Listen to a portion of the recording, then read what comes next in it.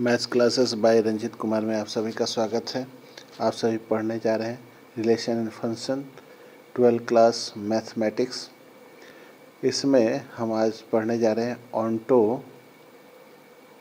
Onto में ध्यान दीजिएगा, a function f such that x change to b y is said to be one one one और onto और bijective if f is both onto भी हो जाए और वन वन भी हो जाए। जैसा कि फिगर एफ़ फोर में देखिए, ये देखिए आपका फोर नंबर फिगर है। इसमें आपका ऑन्टो भी हो गया है और वन वन भी हो गया है। तो ऐसे को हम लोग बोलेंगे बाइजेक्टिव ठीक है, ध्यान रहेगा बाइजेक्टिव इसी तरह के फिगर को हम लोग बोलेंगे। चलिए आगे हम लोग देखते हैं।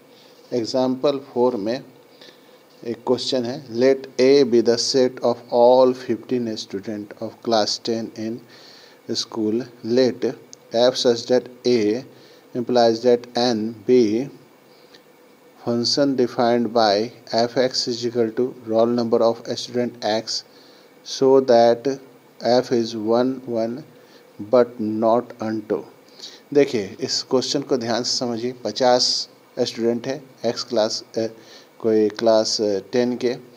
इसमें ए जो है, आपका एम्प्लाइज डेट एन है रोल नंबर के लिए किया गया है।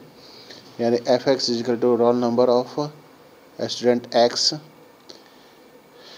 so that f is one one होगा, लेकिन अंटो नहीं होगा। No two difference student of same class have same roll number ऐसा हो सकता है क्या कि मान लीजिए फोर रोल नंबर, वो दो स्टूडेंट का हो जाए?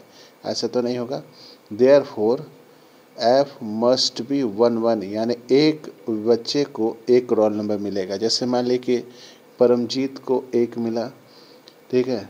आपके धनराज को एक मिला, सुनीता को, मैंने धर्म, परमजीत को एक मिला तो धर्मराज को एक मिले, नहीं मिले, ऐसा कोई ज़रूरी नहीं है। उसको तो मैंने एक के बाद ही वाला कोई मिलेगा, है ना?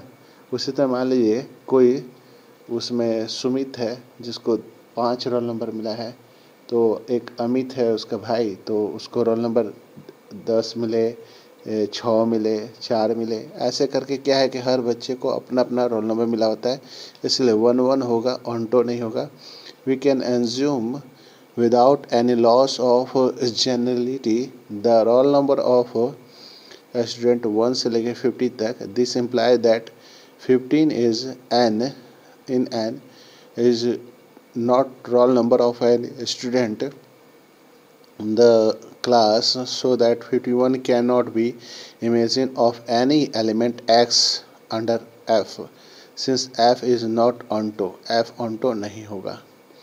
ठीक है? वन वन तो होगा, लेकिन अंटो नहीं होगा। एग्ज़ाम्पल आइए एट में।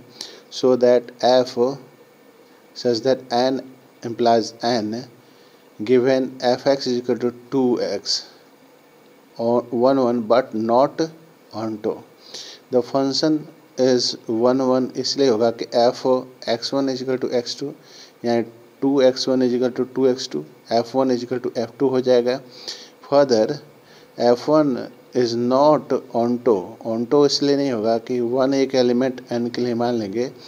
There no exist any x in N such that f x is equal to x के लिए वन नहीं ना लिख देंगे। इसलिए ऑन्टो नहीं होगा।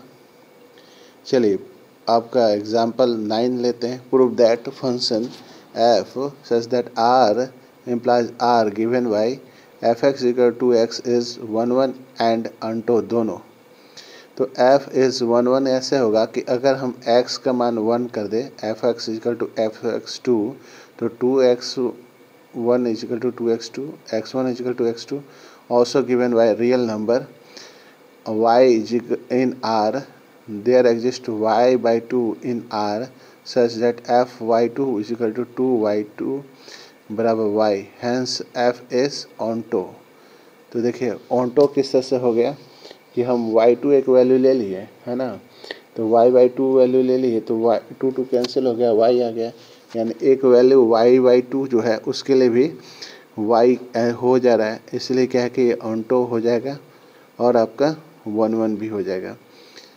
एग्ज़ाम्पल टेन है। So that the function f such that N implies that N is equal to f two is equal to one f x is equal to x minus one for every x smaller than two is onto but not one one तो f x is not one one क्योंकि f x is equal to one f one is equal to f two है और is equal to one है।